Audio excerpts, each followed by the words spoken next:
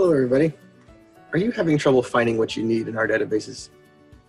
Are the required limits in your assignment bringing you to results of zero? There may be another way to get at useful articles. You can call this method of searching backwards searching if you want. In the days before everything was online and in computers, yes, I just dated myself. When you were doing research in journals, there were directories and guides. They are all now online that were basically a printed out keyword search. You would look up keywords in the guide and it would tell you in which journal you should be looking for an article and the title and page numbers and so you could find it. Many of these guides also had subject and article titles listed by journal too, helpful different colored paper sections. This lets you look up a journal title and see what subjects it covered and the articles in it. The second way of searching does still exist in the computer age, minus the colored paper. It is just a little trickier to find. Pick your database. Then usually at the top of the screen, you will see a Publications tab. This will bring you to a screen where you can search for journal by title, such as Online Journal of Rural Nursing and Healthcare. Once you find a journal, just click on the title.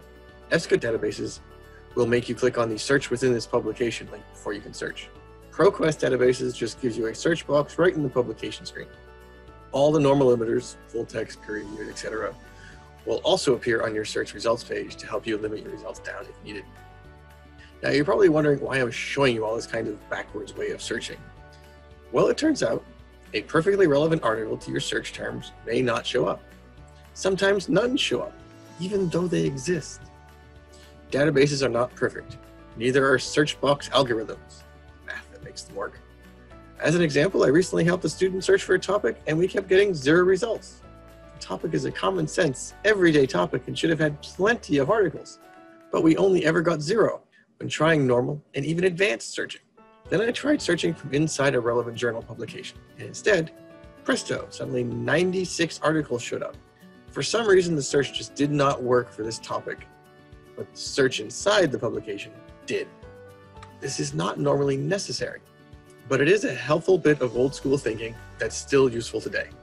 So remember, you get stuck, try working the problems backwards because you never know what new perspective will give you.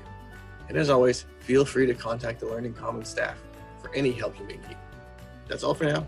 See you next time.